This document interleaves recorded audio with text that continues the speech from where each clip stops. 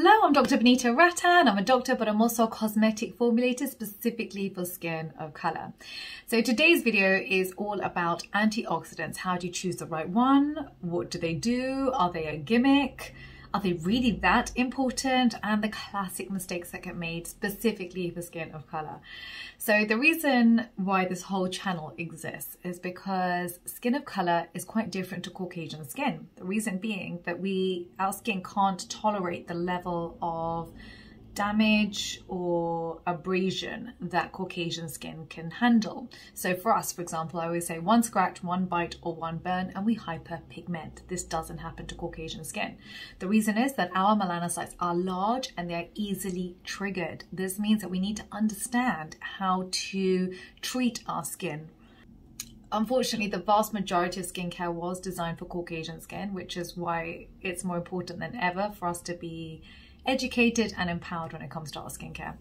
Now, recently I bumped into um, a friend and um, at the gym, and she said to me, um, Vanita, do you know what? I'm I've just turned 40 and I'm completely new to skincare, and I really don't even know which antioxidants to buy. How do I put them together? Which ones should I avoid? And I thought, you know what? This is a perfect video for people who are just starting out it can be so confusing, so overwhelming antioxidants and um, and I just don't think there really is enough help for us. So today's video is should hopefully break down the key antioxidants that are available, the forms that they're in, how to combine them, and then my favorite products that are on the market to make it as easy as possible for you. If that sounds good to you, give me a thumbs up. Let's dive right in.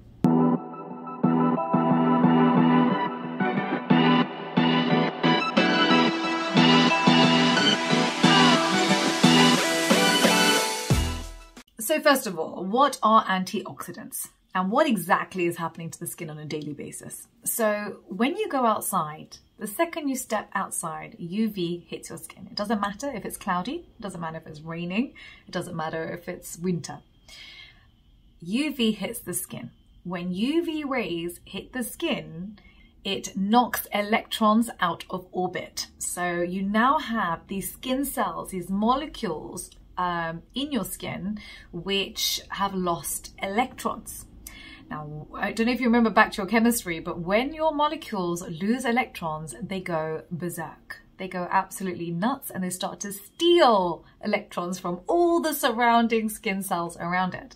And that then creates a chain of disaster because what's just happened is that you are now creating an environment which is damaging collagen and leading to premature aging. So how do we protect ourselves from this? Well, first of all, of course, you want to be wearing your SPF 50. That really is key. If you're not wearing SPF 50, there's no point watching the rest of this video because there's no actives in the world that's going to help your skin if you're not wearing your SPF 50. So number one, we want to stop UV from hitting the skin and SPF 50 broad spectrum is your best option I always used to get told, but Dr. V, how do we get a mineral sunscreen that has no white cast? And I made it for you, so hopefully there should be no more excuses on wearing your sunscreen. This is what it looks like on the skin, and I'm just gonna rub it in so you can see that it has no white cast. I'm not saying to get this one, I'm just saying that there are mineral sunscreens now without white cast, and so there's no excuse for you to not be blocking UV from hitting your skin. And the second thing that you need to do is to use antioxidants because antioxidants are very charitable. What they do is they donate their electrons to these crazy molecules in the skin that have lost their electrons and they stabilize them. They calm the whole situation down and they save your skin. So antioxidants are my second favorite product after sunscreen for everybody. Now, there are many different reasons for free radicals forming on the skin. Number one, we've spoken about is UV. Number two is pollution. You're likely to age faster. Your face is likely to age faster when you, if you live in the city compared to if you lived in the countryside. So pollution really is not our friend. And the third reason is blue light. So honestly, the amount that we are on our computers and our phones nowadays that energy is also bombarding our skin and leading to free radicals. So free radicals lead to something called oxidative stress on our skin. It's a stress, and that's the most important word here. And the effects of this stress are premature aging. So it reduces elasticity of the skin. It leads to more pigmentation. It leads to dull, dry skin and dehydrated skin. But there are many mistakes made with antioxidant serums and I'm going to go through them now so that you are fully aware. Antioxidants by nature are unstable. This means that we have to stabilize them. This means that they have to be in an airless pump. So a pump like this, so this is the Dr. Vanita antioxidant serum, airless pump. No oxygen should be able to get through and no light should be able to get through.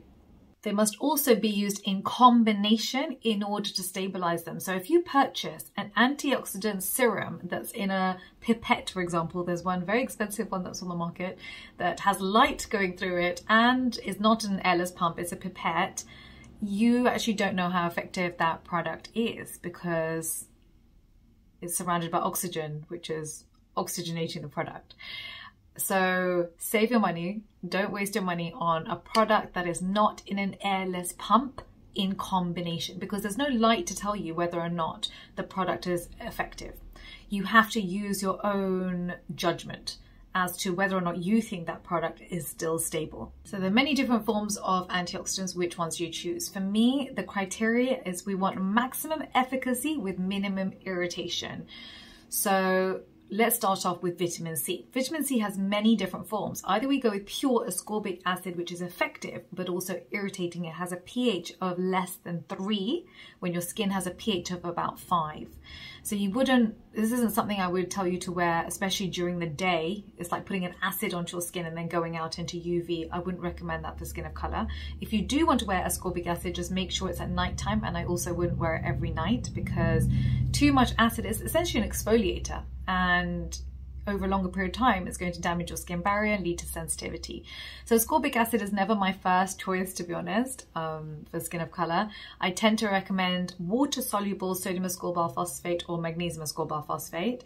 And fat-soluble tetrahexyl ascorbate is my absolute favorite because it is fat-soluble. It's the only fat-soluble vitamin C that goes into the dermis to stimulate collagen. So you would choose vitamin C if these are some of your concerns. Hyperpigmentation, wrinkles, skin texture, or wanting to brighten the skin.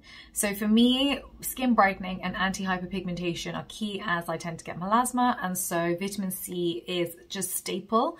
And for me, I would always choose tetrahexyl ascorbate because I'm trying to stimulate collagen.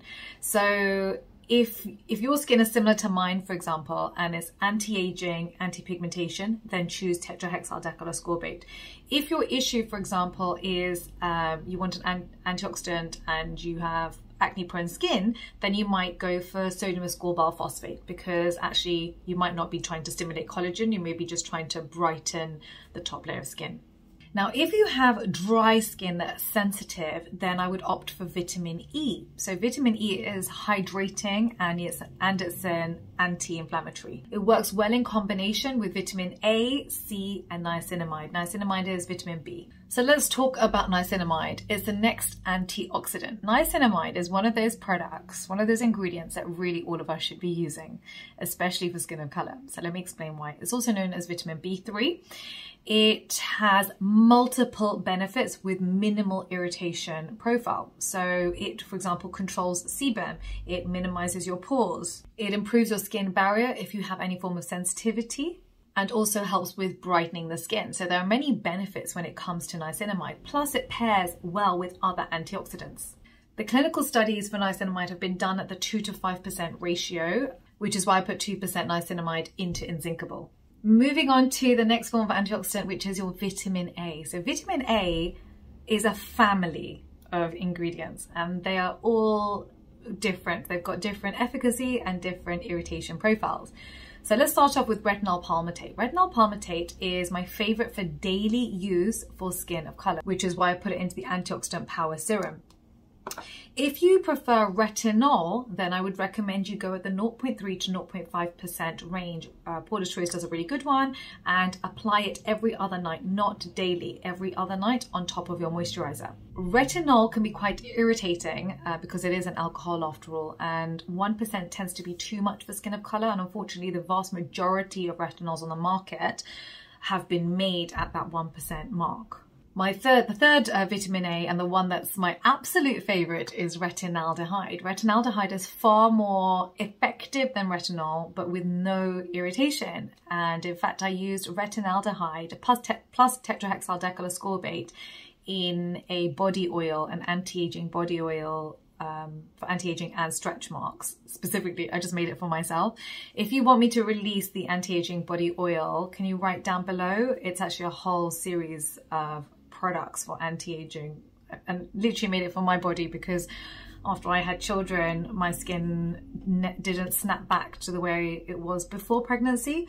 And so I had to create a series in order to get my skin to a place that I was comfortable and happy.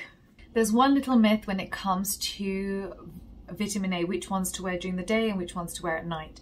Now, all of them basically stop working as soon as you go out into the sun. So really it's about which one is causing the most amount of irritation. I probably wouldn't wear retinol and go out into the sun with skin of color. However, retinol palmitate or retinaldehyde it just essentially just stops working and there's very minimal irritation profile with both those ingredients. So either of those, I don't mind you going out during the day with, but retinol, I just would sidestep and apply that one at nighttime. The next one is hyaluronic acid, which is an absolute keeper. We all should be using hyaluronic acid in our skincare. So hyaluronic acid not only it does it is it a water magnet and plumps up the top layer of skin giving you that flawless finish it also helps to mop up free radicals so it's one of those that has minimum irritation but maximum effect so let me run you through the antioxidants that are on the market that are NAFE safe, no denatured alcohol, no fragrance, no essential oils, that are in combination, that are in an airless opaque pump, so I know that it's still effective. And actually there were very few, the vast majority um, mistakes have been made with the formulation of these antioxidant products. So the first one is Paula's Choice. Paula's Choice often gets it right. Um, I love the vast majority of Paula's Choice products. Not everything. I've done a whole video on Paula's Choice best and worst for skin of color, but most of the time they're spot on. The next one I like is a formula from Face, uh, Face Theory Resvera F. The antioxidant serum formula is great, but they made a mistake on packaging which is such a shame. They were so close. Often um, Face Theory does get it right too. The next one I was quite surprised with is Environ, which is um, is called Environ Skin Essential. Um, and I was really impressed with this one. Um, in fact, I was shopping the other day in Westfields and a lady came up to me and she goes, are you Dr. V? And I said, yes. And she goes, please, can you assess Environ for me? so um, here we go, we're doing Environ. It's actually, I've never heard of this brand. And I was, I love it when I find something that is great for skin of color. Um, and I can recommend. As you know, none of my videos have ever been sponsored and they will never be sponsored. So that is a product that I like. So for me, I needed an antioxidant serum that was anti-aging, that was anti-pigmentation and brightening to the skin. So the ingredients that I wanted were retinol palmitate, niacinamide, tetrahexyldecyl ascorbate, vitamin E and coenzyme Q10, which is exactly what I put into the Power Antioxidant Serum. So this is now available from the Skincare by Dr. V website. And for me, it just has everything that I needed for my skin type. I may not have the same skin type as you. It's just if you have a similar skin, skin issues and concerns as me, then you will hopefully love the product.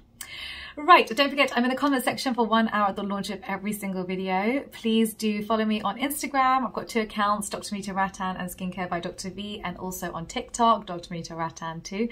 And download your free guide, the link is down below. Uh, let me know what other videos I me to make for you too. Thank you, bye.